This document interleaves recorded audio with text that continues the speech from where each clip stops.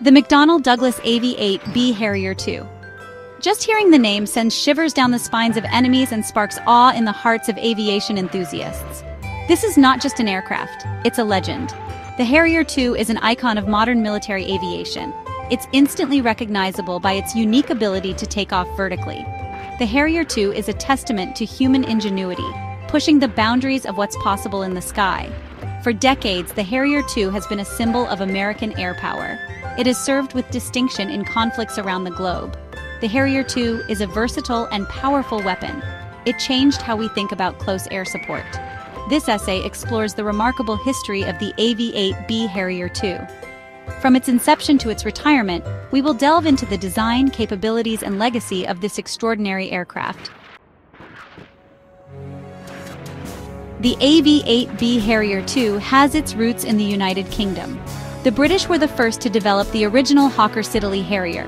This was the first operational fixed-wing VTOL, vertical takeoff and landing aircraft. Seeing the potential, McDonnell Douglas, later Boeing, partnered with British Aerospace in the 1970s to develop a second-generation Harrier. This became the AV-8B Harrier II.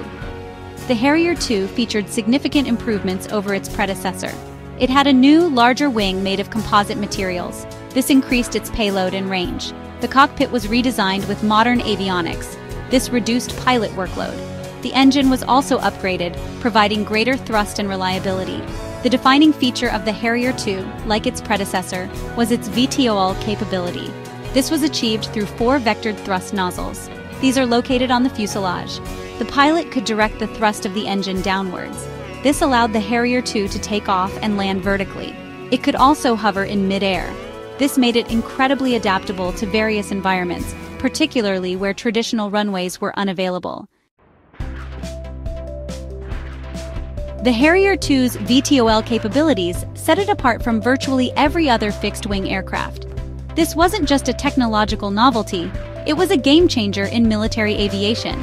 The ability to take off and land vertically meant the Harrier II didn't need long runways. It could operate from improvised landing sites close to the battlefield.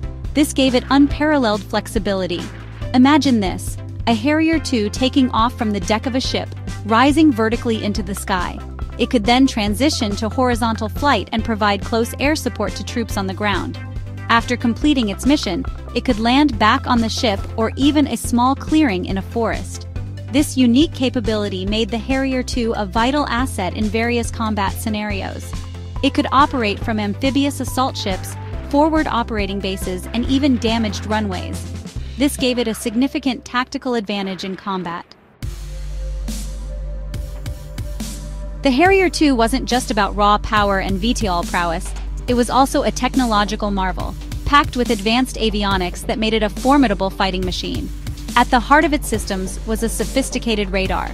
This radar could detect and track enemy aircraft and ground targets. It also provided ground mapping capabilities, enhancing the pilot's situational awareness. Adding to its arsenal of sensors was a laser rangefinder and target designator, this system allowed the pilot to accurately measure the distance to targets. It could also designate targets for laser-guided munitions, ensuring pinpoint accuracy. For nighttime operations, the Harrier II could be equipped with night vision systems. These systems allowed the pilot to see clearly in low-light conditions. This significantly expanded the aircraft's operational envelope, making it a true 24-7 fighting force. Section 5 armed and ready weaponry of the Harrier II. The Harrier II was a versatile weapons platform. It could carry a wide array of ordnance to defeat enemy forces on the ground and in the air. Its primary air-to-ground weapons included the AGM-65 Maverick missile. This is a highly accurate, electro-optically guided missile. It can engage a variety of targets, including tanks, armored vehicles, and bunkers. For close air support missions, the Harrier II could be loaded with a variety of bombs, this included the Mk-82 general-purpose bomb, cluster bombs, and laser-guided bombs. These provided the firepower needed to neutralize enemy positions and support friendly troops in contact. For self-defense, the Harrier II was typically armed with AIM-9 Sidewinder missiles. These short-range, heat-seeking missiles are highly effective against enemy aircraft. It could also be equipped with a 25mm cannon for close-range engagements. A Section 6. A legacy forged in battle operational history. The Harrier II's operational history is as impressive as its capabilities. It has seen action in multiple conflicts, proving its worth in the crucible of combat. The aircraft first saw combat in the 1991 Gulf War, where it flew over 1,300 sorties. The Harrier II provided close air support to coalition forces. It also conducted reconnaissance and interdiction missions. Following the Gulf War, the Harrier II saw extensive action in the Balkans. It supported NATO operations in Bosnia and Herzegovina and later in Kosovo.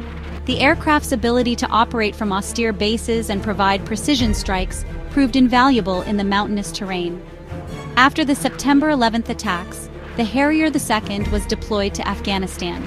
It supported Operation Enduring Freedom. It flew close air support missions against Taliban and Al Qaeda forces. The aircraft's VTOL capabilities were particularly useful in the country's rugged mountains. Section 7 Versatility in Action From Close Air Support to Humanitarian Aid. Beyond its combat prowess, the Harrier II demonstrated remarkable versatility. It wasn't just a weapon, it was a tool that could be used in a variety of missions, including humanitarian aid and disaster relief. The aircraft's ability to land and take off in tight spaces made it ideal for delivering supplies to disaster-stricken areas. For example, following the devastating 2004 Indian Ocean tsunami, Harrier IIs were deployed to Indonesia. They delivered much-needed medical supplies, food, and water to isolated communities. The aircraft's ability to operate without runways proved invaluable in reaching those who needed help the most. In 2005, Harrier IIs were again called upon for disaster relief. This time it was in the wake of Hurricane Katrina. The aircraft flew missions along the Gulf Coast. They delivered supplies, evacuated casualties, and assessed damage. Section 8 The Final Flight Retirement and Legacy. After nearly four decades of distinguished service, the AV 8B Harrier II was officially retired from the United States Marine Corps in 2020. The retirement of this iconic aircraft marked the end of an era in naval aviation. It left a void that is difficult to fill. The Harrier II's legacy continues to inspire. Its innovative design, VTOL capabilities, and combat record have left an indelible mark on military aviation. The aircraft paved the way for future generations of VTOL aircraft, such as the F-35B Lightning II.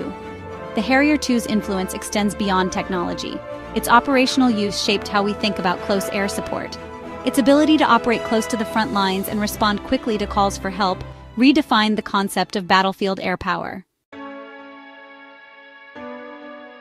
Section 9 Inspiring Future Generations the AV-8B Harrier II may be gone, but its spirit lives on. Its story is a testament to what's possible when innovation meets determination.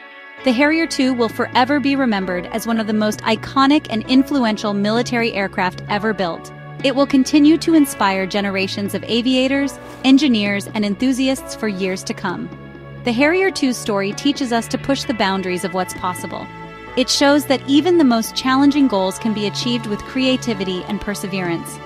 The legacy of the Harrier II is a source of pride for all those who designed, built, maintained, and flew this remarkable machine. Its impact on aviation will continue to be felt for generations.